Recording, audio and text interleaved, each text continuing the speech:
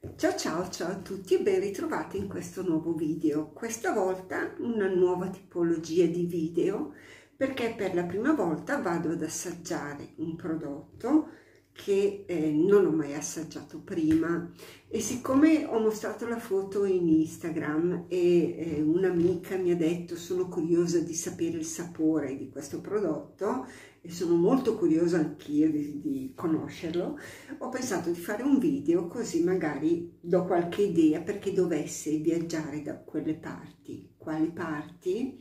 Allora sabato il Sontino è andato in gita con gli ex colleghi di lavoro ehm, di tanti anni fa, perché ormai Sontino è in pensione da parecchi anni, più di me, però si ritrovano, c'è una bella associazione di, di appunto ex lavoratori di questa azienda e organizzano spesso queste gite a cui a volte ho partecipato anch'io, gite ma anche visite a mostre anche qui nella mia città o località qui nei dintorni, comunque a farla breve.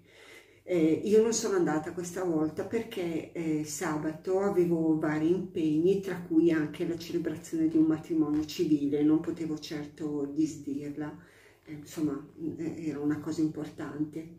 E comunque la gita era Bassano del Grappa e Marostica.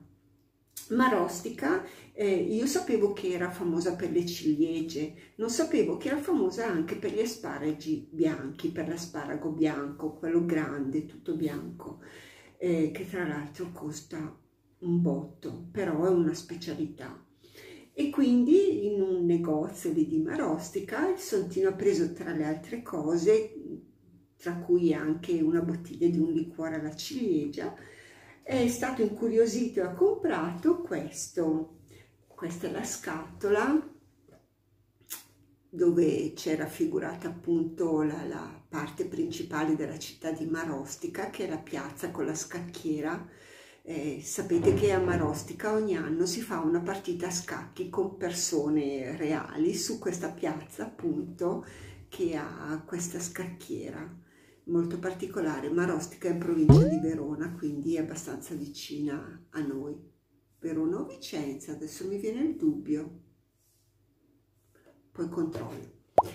E, e, ha trovato, consigliato anche dalla proprietaria del negozio, questo prodotto che è un patè di asparagi e ciliegie Ora, in effetti l'accostamento è abbastanza particolare, l'asparago di per sé ha un sapore abbastanza deciso, abbastanza forte, le ciliegie, se sono quelle eh, belle mature, sono anche dolci, a meno che non sia la, la marena in questo caso, però vediamo nella composizione ciliegie dice, 12% ciliegie, asparago 65% poi il resto sono sale, eh, olio extravergine e qui dice ideale per bruschette, fettuccine e con le frittate.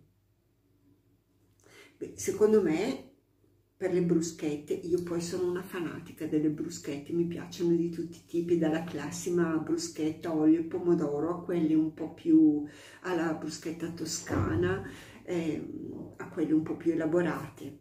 Sono curiosa di provare appunto questo patè di ciliegie e asparagi.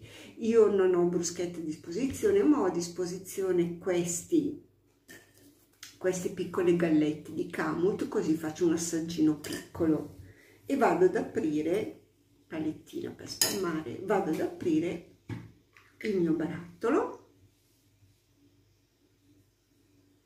Il profumo è decisamente di asparagi. Non sento niente che mi ricordi la ciliegia. La consistenza è questa, abbastanza densa, direi decisamente densa. Vado a prenderne proprio una punta, è un po' granuloso.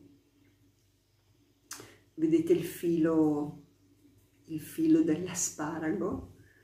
Ne prendo proprio un pochino, lo vado a mettere sulla mia piccola galletta e lo assaggiamo, così è contento qualcuno che me l'ha chiesto di, di far sapere com'era il sapore.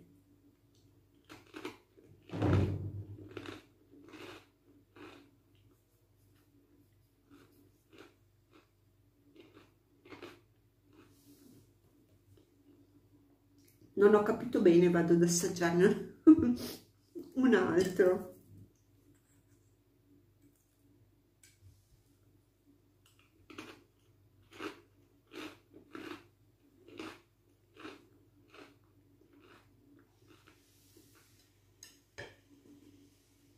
Allora è squisito.